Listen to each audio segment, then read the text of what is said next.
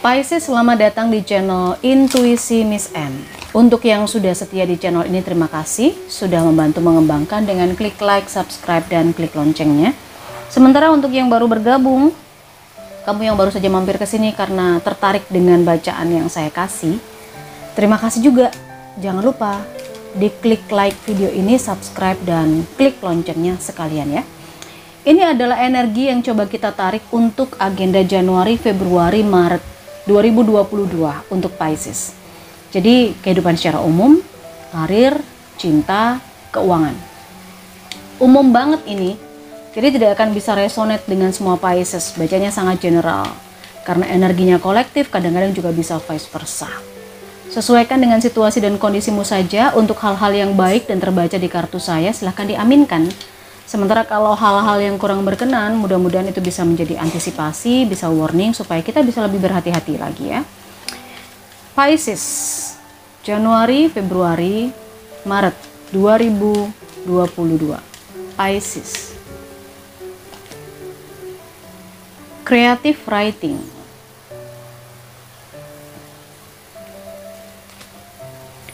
You know what to do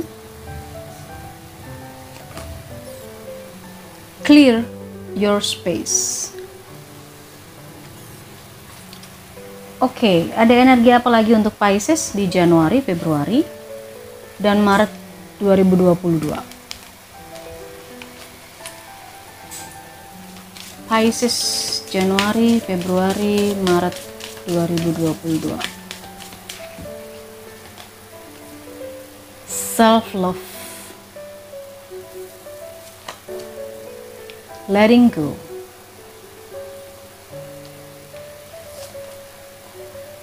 Energetic clearing.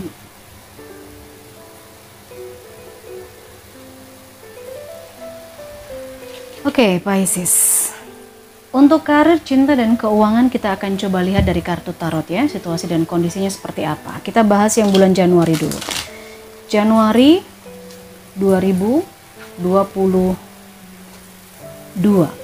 Pisces karir cinta dan keuangan. Pisces karir cinta dan keuangan.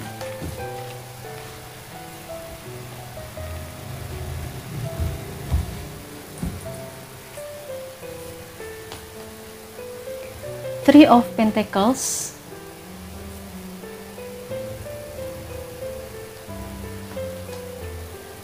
The Star Two of Pentacles. Oke, okay, Pisces.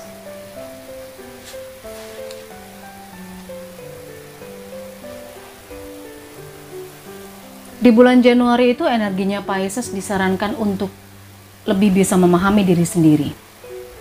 Sebagian dari Pisces mungkin beberapa masa sebelumnya itu sempat nyuekin diri sendiri ya. Lebih kepada membantu orang lain, peduli dengan orang lain, udah nggak mau ngurusin diri sendiri lah tetapi di bulan Januari itu lebih kamu diminta untuk kamu bisa self love, kamu bisa mencintai dirimu sendiri, menyediakan waktu untuk dirimu sendiri. Mungkin kalau kamu punya anak, punya adik, punya ponakan, kamu bisa meluangkan waktu bersenang-senang dengan mereka. Dengan begitu kamu pun juga sudah menjadikan atau memanifestasikan bentuk cinta pada dirimu sendiri ya. Dengan memberikan waktu untuk anak-anak. Ada juga sebagian dari Pisces yang diingatkan supaya Sekali-sekali boleh dong kamu mengeluarkan sifat atau sikap kekanak-kanakanmu untuk dirimu sendiri. Tidak di semua situasi ya, untuk dirimu sendiri. Ya, siapa tahu kamu main ke pantai, main pasir, kemudian ada semacam kamu nonton pertunjukan boneka misalnya. Atau mungkin kamu jalan-jalan pas jalan-jalan beli boneka kamu temenin pada saat kamu pada saat kamu mau tidur lalu kamu ajak dia ngobrol kayak gitu loh cintai dirimu sendiri. Ada saatnya di mana kamu bisa curhat dengan dirimu sendiri. Ya. Dan kalau kamu misalnya ingin curhat selain dengan dirimu sendiri kamu bisa menyibukkan diri dengan menulis. Menulis melukis menggambar menulis di jurnal menulis buku menulis artikel atau menulis diary atau apa pun lah kamu bisa lakukan ketika kamu memang sedang ada dalam situasi yang stres, sedih, bingung, bimbang, atau selama ini kamu menyadari bahwa kamu tidak ada waktu untuk dirimu sendiri. Coba lakukan itu ya, Pisces. Karir kamu di bulan Januari 2022. Sepertinya di sini sesuatu di tempat kerjamu yang berhubungan dengan kerjasama, teamwork, atau kerjasama tim. Ini sedang diuji. Kamu Pisces sedang membuktikan sesuatu. Mungkin teamworkmu atau divisimu ini bisa menghasilkan sesuatu, bisa menguntungkan perusahaan kamu bisa menunjukkan kualitasmu di sini. Ini ya, yang saya rasakan di Januari. Entah, kamu sesuaikan dengan situasi dan kondisinya saja. Semisal kamu belum bekerja atau jobless, mungkin bisa jadi di sini kamu sedang berupaya untuk membangun usaha sendiri, misalnya. Untuk bekerja lebih keras maksudnya lembur, merencanakan sesuatu. Intinya kamu ingin membuktikan kepada orang lain bahwa kamu layak, kamu bisa kerja gitu loh. Oke. Soal percintaan, saya rasa di sini ada sebagian Pisces yang impian, harapannya, keinginannya itu sudah deket di pelupuk mata deh kayaknya. Apa yang selama ini diidam-idamkan itu udah bakalan jadi kenyataan. Dream come true karena di sini ada the star. Harapanmu tentang sebuah hubungan, harapanmu tentang pasangan di bulan Januari itu sudah mulai mendekat, sudah mulai dekat nih kalau kamu belum berpasangan, tipe-tipe orang yang ingin kamu jadikan pasangan itu udah dekat. Ya.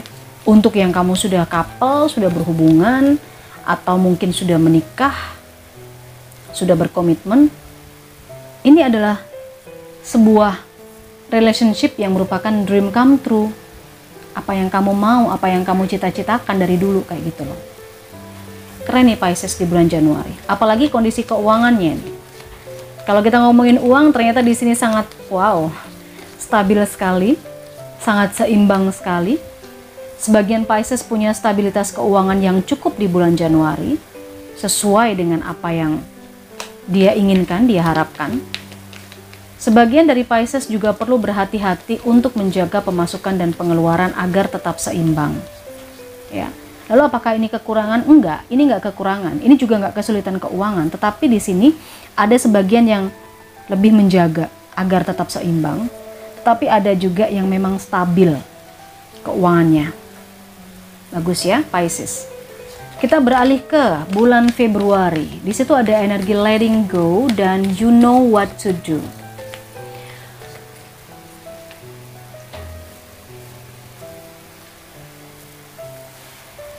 Aquarius, Pisces segala sesuatu yang berlebihan dalam hidup itu selalu nggak bagus ya.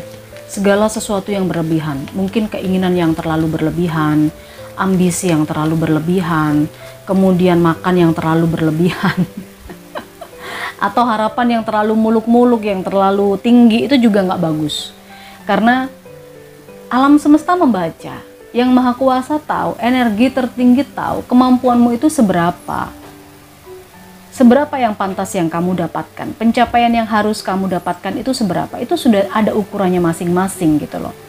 Jadi, ketika di bulan Februari itu ada keinginan, ada harapan atau cita-cita yang mungkin belum terlaksana sebagian dari Pisces, kamu mesti berusaha untuk melepaskan ya. Kamu mesti berusaha untuk ya udah lepasin aja. Gimana dong caranya melepaskan? Kamu tahu apa yang harus kamu lakukan karena kamu itu punya kualitas. Sekali lagi Pisces di sini energinya adalah seseorang yang smart, seseorang yang punya kualitas, seseorang yang tidak suka menunda-nunda waktu, tidak suka menunda-nunda pekerjaan.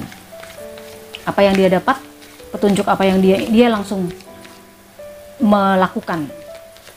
Jadi gercep gitu loh.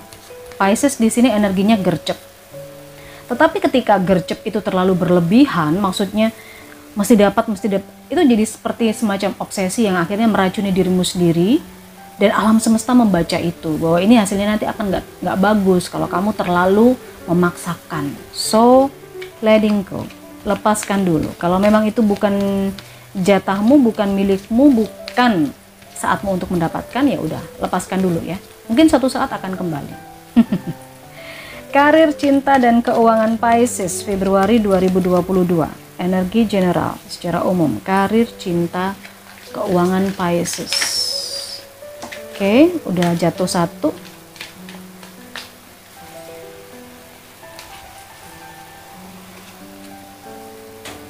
ada the sun the moon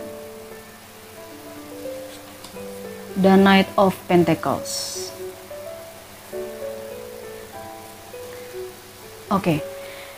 um, Pisces kalau kita bicara soal karir pekerjaan kamu di bulan Februari 2022 nanti ada sebuah situasi yang membuat kamu sangat nyaman di tempat kerjamu, sangat senang di tempat kerjamu. Ini seperti semacam passion ya di tempat kerjamu ini. Mungkin ini adalah masih relate nyambung dengan energi sebelumnya. Di sini ada pembuktian kan urusan pekerjaan, kamu sedang membangun sebuah situasi. Di sini keberhasilan yang kamu dapatkan di bulan Februari terkait bisnis, pekerjaan, karir. Ini kamu berhasil. Energi yang cukup menyenangkan. Dan tentang asmaranya, di sini ada energi the moon. Saya rasa kamu dihadapkan pada sebuah situasi yang cukup cukup membingungkan ya. Gimana enggak? Karena di sini kamu ada di sebuah kegelapan, kemudian kamu butuh pencerahan dan ini masih terkait dengan masa lalu saya rasa. Kamu bimbang, kamu ragu-ragu dan tidak bisa menentukan. Oke. Okay. Um, kita akan coba klarifikasi the moon tentang asmara ini menjelaskan apa ya kita akan coba lihat dari additional deck The moon kalau tentang asmara ini menjelaskan apa? Karena ini adalah energi seseorang yang sedang bimbang, sedang ragu-ragu. Ada Four of Cups dan ada Three of Swords. Ada seseorang yang merasa disakiti di sini. Ada seseorang yang kecewa dengan pasangannya, kecewa dengan sebuah hubungan. Mungkin hubungan yang ternyata seperti seperti harapannya itu tidak seperti yang diharapkan. Hubungan yang tidak seperti keinginannya, hubungan yang ya tidak seperti yang dilihat orang. Kalau orang lain mungkin melihat hubungan kamu dengan dia itu baik-baik saja, tapi ternyata tidak. Hubungan yang toksik, hubungan yang penuh sakit hati, hubungan yang stuck. Ya, di sini ada Four of Cups juga. Hubungan yang menjemukan, hubungan yang nggak berkembang di sini, hubungan yang tetap begitu-begitu saja. Makanya tadi ada energi the moon, ya, energi the moon, yaitu sebuah situasi dalam kamu kebimbangan, keraguan-raguan, nggak tahu harus gimana, antara melanjutkan atau melepaskan ini lebih kepada energi masa lalu. Ada seseorang di sini yang masih kebayang-bayang dengan masa lalunya, nggak bisa lepas dengan masa lalunya. Padahal di sini energi utamanya adalah letting go, lepaskan, lepaskan. You know what to do. Mungkin ini lebih kepada mengingatkan Pisces agar ya kamu tahu kok apa yang harus kamu lakukan ketika kamu ada di situasi ini. Ikuti saja intuisimu. Ya, intuisi di sini yang paling berperan di energi the moon dan juga di energi you know what to do. Soal asmara. Februari ya Pisces. Yuk kita ke keuangan. Ada Knight of Pentacles di sini. Ada keuangan yang stuck. Keuangan yang tidak maju-maju atau keuangan yang ya nggak berkembang, nggak nambah. Di sini adalah seseorang yang menjaga keuangannya dengan baik sebenarnya.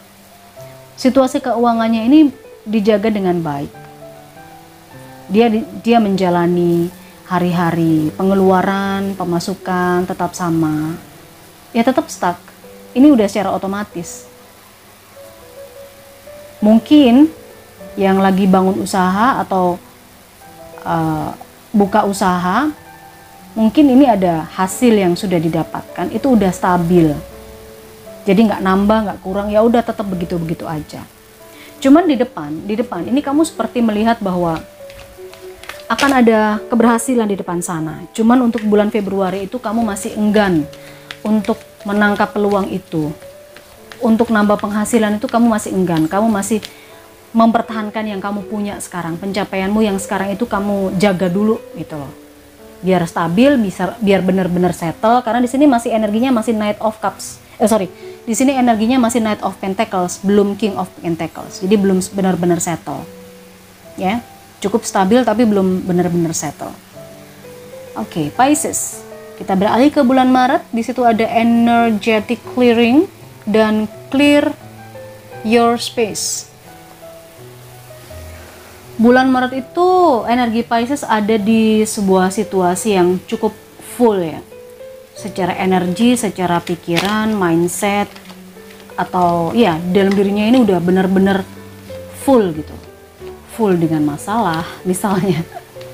Full dengan eh, pemikiran-pemikiran, uh, full dengan pekerjaan, hal-hal yang membuat kamu sangat overthinking, hal-hal yang membuat kamu dikelilingi oleh orang-orang yang toksik. Mungkin ini adalah titik tertinggimu dalam sesuatu. Misalnya saja kamu ada di puncak karir misalnya atau kamu ada di pencapaian yang cukup bagus di bulan Maret ini saya rasa. Tetapi di situ sebenarnya justru akan membuat kamu ada di sekitar orang-orang yang negatif. Kamu dikelilingi oleh orang-orang yang toksik misalnya. Banyak hal-hal yang akhirnya membuat kamu melakukan hal-hal negatif juga. Karena apa? Kamu defense. Kamu berusaha untuk mempertahankan posisimu atau kamu berusaha untuk mempertahankan apa yang menjadi hakmu. Kayak gitu. Nah, di bulan Maret itu ternyata ada sebuah kejadian yang bisa dibilang ini nanti akan membuat kamu kembali lagi ke titik nol. Akan membuat kamu kosong lagi. Ya.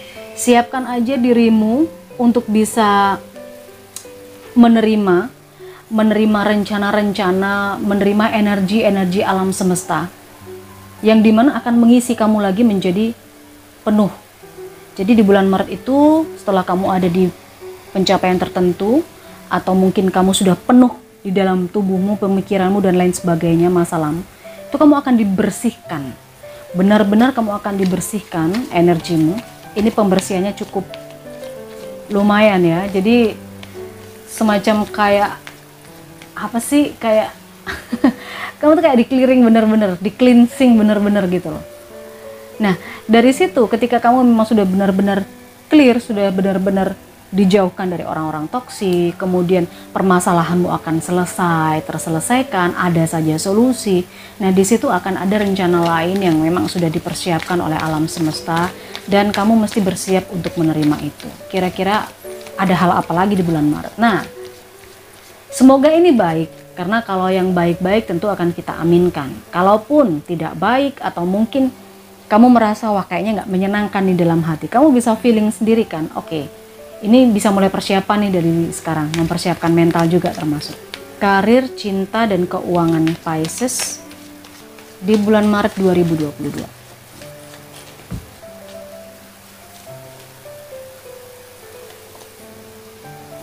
Ten of Wands,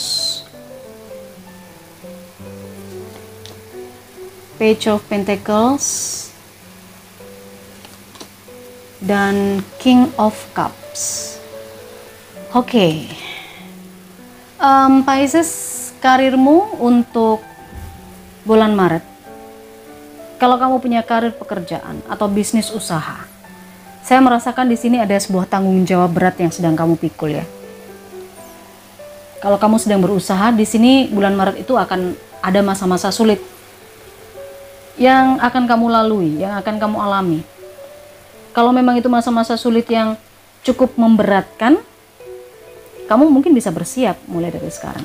Tetapi ada sebagian dari kamu Pisces yang mengambil tanggung jawab. Bisa jadi ini bukan tanggung jawabmu ya. Tetapi kamu semacam ketiban sampur gitu, semacam kamu itu di, ditunjuk. Kalau kamu ada di sebuah perusahaan, mungkin kamu ditunjuk untuk memikul jabatan tertentu, posisi tertentu, ya, yang cukup krusial ini posisinya cukup um, punya beban yang cukup berat sih. Karena ini semuanya ada di kamu. Bebannya ada di kamu tentang perusahaan itu. Kalau kamu sedang membangun usaha, ini adalah saat-saat sulitmu di usaha. Semoga kamu bisa melalui itu ya. Kalau di bulan Maret ini kita bicara soal asmara atau cinta, di situ ada page of pentacles. Ada seseorang energinya Pisces ini yang um, menjalani hubungan baru sih saya rasa. Ada yang baru jadian atau yang akan jadian. Di sini saya rasa akan ada Pisces yang menjalani hubungan baru. Cinta baru bisa jadi, ya kan? Tapi landai-landai aja sih, nggak ada masalah karena ini cintanya baru kan, gitu. Seorang yang baru, baru datang, baru jadian. Kalau ini yang sudah couple gimana? Kalau yang sudah couple, saya merasa ada suatu kondisi atau sebuah hubungan yang couple ini sedang ke arah perbaikan. Diperbaiki dari awal. Ada situasi couple di sini yang kayaknya mungkin mungkin butuh diperbaiki dari awal. Ada masalah yang terjadi, kemudian masalah itu uh, sebabnya atau diawali oleh sesuatu dan ini harus dirunut lagi sebabnya dulu apa Makanya ini ada page of pentacle. Harus diperbaiki dari awal dulu. Oke? Okay? Itu urusan cinta asmara.